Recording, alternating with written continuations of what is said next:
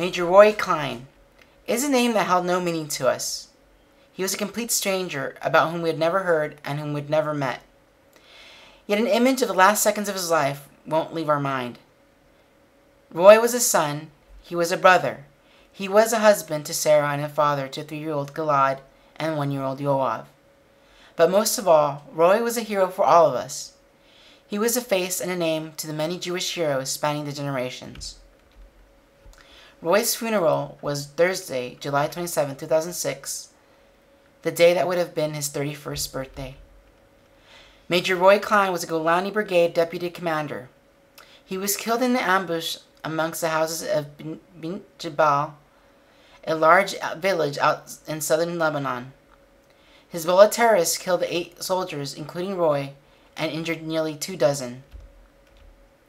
There were other soldiers next to Roi. A hand grenade was thrown at them, and Roi shouted, Grenade! He then threw his body over it, sacrificing his life for the sake of his soldiers, who later attributed being alive to his act of selflessness. In his last seconds of life, Roi mustered the strength to shout, Shema Yisrael! The prayer that Jews have prayed for centuries, declaring our belief in God and in a better world.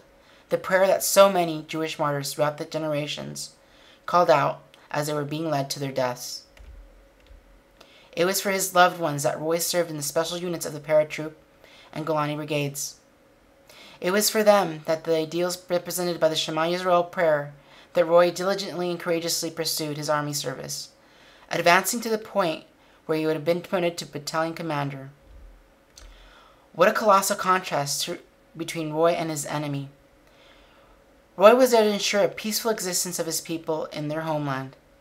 He was there to safeguard the innocent lives of his children and his nation, to ensure that people could live in their homes in peace and tranquility, to guarantee that they could continue their ordinary day to day activities, activities like shopping in the mall without being blown to bits, like eating a family meal together in a pizza shop without worrying about flying shrapnel, or like praying in a synagogue without having to run for cover in a bomb shelter or some or like sending their children in a school bus without thoughts of bullets penetrating within.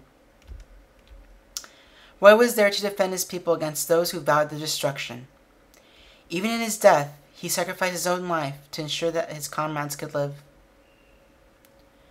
Roi's enemy was willing to die to bring death and mourning to as many as possible. Roi was willing to die to ensure life and liberty for others, to preserve a world in which Jews could pray to God in their synagogues, perform God's commandments, and make the world a better, more moral, and more conscientious place. This is the time, the third time in the last century, that the Jewish people have found themselves on the front lines against those who sought their annihilation. For the Nazis, a Jew was a racial impurity to be exterminated like insects. For the Soviet communists, the Jewish religion was a thorn on their sides to be eradicated. And for the Islamic extremists, the Jew and his state must be eliminated from the face of the earth.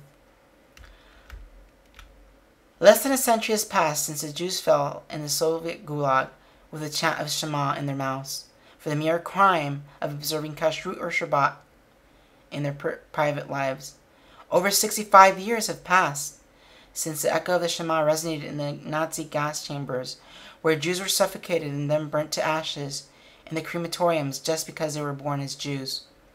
And now Roi Klein follows the path of these martyrs, dying with the cry of Shema on his lips in the act of defending his people from those who yet again wish to destroy them.